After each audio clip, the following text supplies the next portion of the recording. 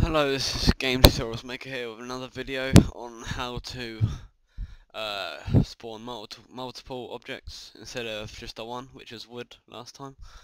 Um, what you're gonna do, you can delete this controller. It doesn't really matter.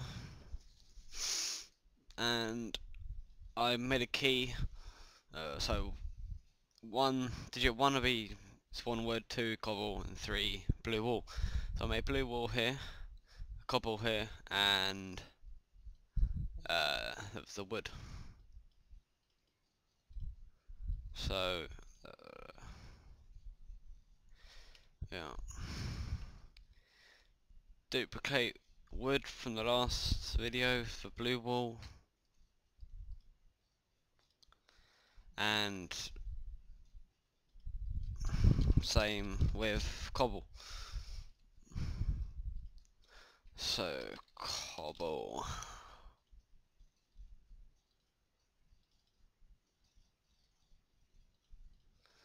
Um, yep, keep that the same. Uh, on right still, do add event, key press, digits 1, add event, key press, digit 2, and same with 3. You can add more if you want, it doesn't really matter.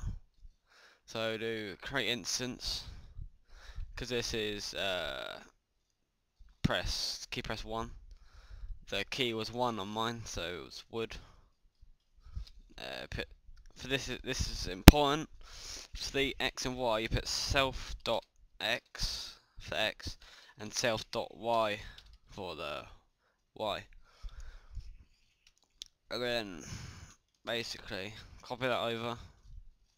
Just change change that to cobble for mine and blue wool for mine. Right so yeah, go on to the video go on to the game sorry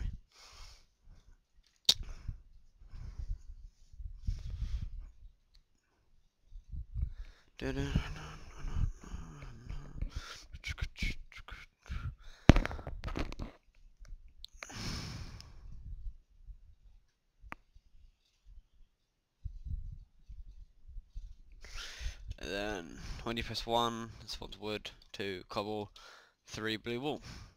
Then you right click each one and it appears. Uh, this is still the same. Get that. Oh, sorry. One, two, three.